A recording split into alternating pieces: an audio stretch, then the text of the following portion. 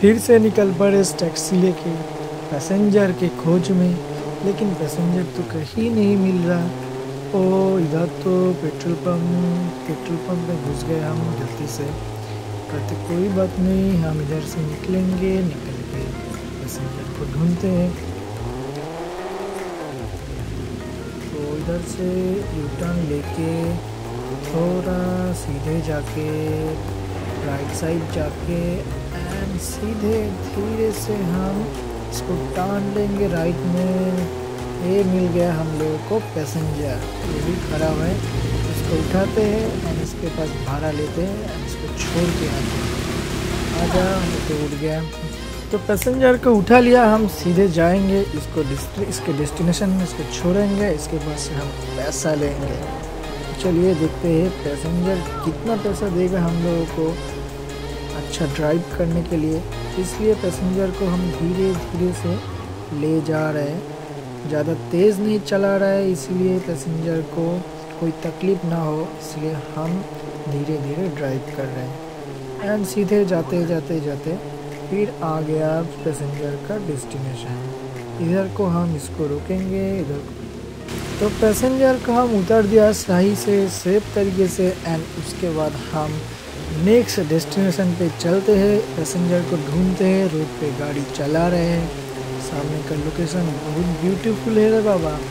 फिर हम सीधे सीधे जाते जाते लेफ़्ट साइड में हम लोगों को दिख गया पैसेंजर फिर उसके बाद गाड़ी को स्लो करके इसको लेफ़्ट साइड में घुमा के पैसेंजर के पास ले जाते हैं एंड पैसेंजर कितना भाड़ा देते हैं, कितना दूर जाएगा, देखते हैं। तो देखिए दोस्तों, मैंने गाड़ी को घुमा लिया, उसके बाद पैसेंजर के पास चला गया।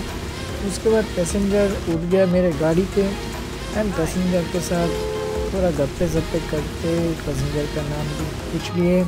पैसेंजर का नाम था स्टीफन एंड स्टीफन भैया बोल रहा था, सामने ही उतरेंगे तो उसके लिए हमको थ्री थाउज़ेंड डॉलर देंगे तो हम सीधे सीधे जा रहे थे, सामने एक रेड सिग्नल हो गया।